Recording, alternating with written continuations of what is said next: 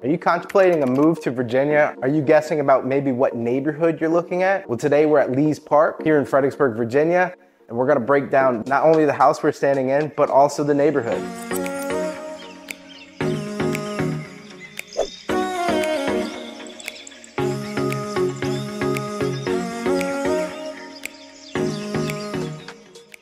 So like I said, we are in Fredericksburg, Virginia, here in Lees Park, which is right on Spotsylvania Parkway. The cool thing about this place is you're about 10 minutes from the VRE, maybe even a little bit less. The VRE is a train station that goes up north. A lot of commuters take it. We are also within five minutes of 95. So anybody commuting north or south, that's our major roadway that comes through Fredericksburg. For shopping, you couldn't ask for better. You're within three minutes of Cosner Corner. It's legitimately right at the end of this road.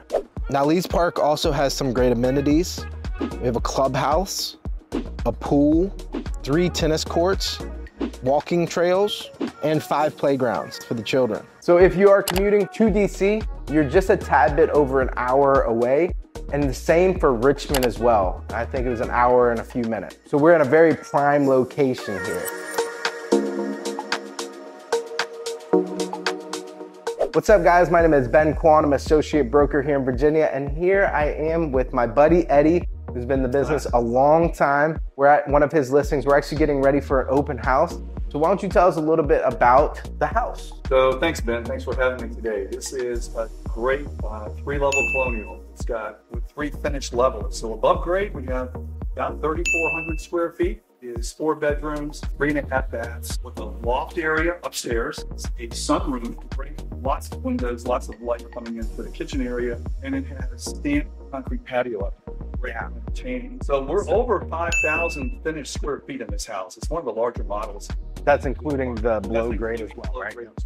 Any uh, any other bedrooms downstairs? No, no bedrooms okay. downstairs. All right, Eddie, what are we listed at? We are listed at 635. 635. Okay. So on average, it looks like four bedroom, three and a half bath. So this house is gonna fit right in line with the average home in this neighborhood, right? Well, one thing about this house, it's one of the larger floor plans. It's gigantic.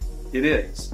Because of loft upstairs, the full finished basement square footage because of the largest model. So, you know, this one does tend to be on the higher end. Oh, big time. Price wise and size wise. This house is what? 3,400 up. A whole nother thousand square feet we're talking about. So that definitely dictates a bigger price because on average, the sales price is 525 on average in this neighborhood. And this one's listed at what? 635. 635. So you can see about a $100,000 difference, but about a thousand square foot difference, which is right in line for our area. About $100 square foot is what you kind of go for. So, and then again, we talk about basements and stamped concrete. There's a, a few other things that will dictate price, but for the most part, it's like a good rule of thumb. All right, Eddie, so that's gonna wrap everything up here today. Thank you for having me out to your open house. Yeah, I appreciate you being out this afternoon. Absolutely. All right, guys, if you enjoy this kind of content, I have a whole playlist dedicated to nothing but Spotsylvania. It's gonna have local attractions, it's gonna have some of my new construction projects, and of course, all the neighborhood breakdowns that I can do. So I have a few,